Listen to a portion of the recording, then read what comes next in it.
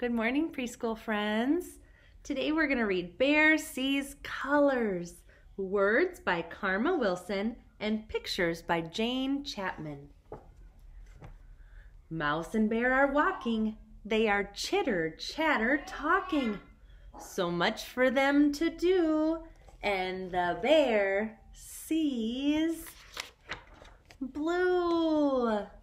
Blue flowers by the trail blueberries, blue pail. Blue, blue everywhere. Can you spy blue with bear? I see blue fish, blue water. What do you see? Along the trail hops hare. Howdy do there, mouse and bear.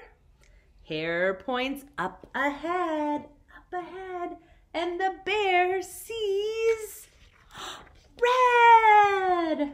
Red blossoms, red cherries, red and juicy raspberries. Red, red everywhere. Can you spy red with bear?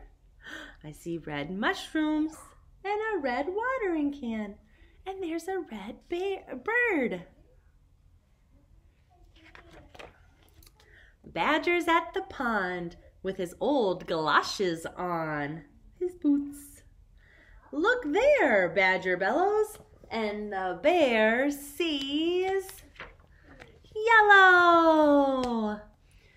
Drippy, sticky, oh so yummy, honeycombs with yellow honey. Yellow, yellow everywhere. Can you find it? Just like bear? I see yellow flowers yellow bumblebees. Gophers out with mole. They are on a little stroll. Bear spots them by the stream, and the bear sees green. Green mint for making tea. Green and tasty sweet peas.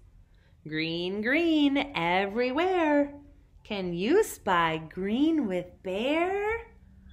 I see they have green cups.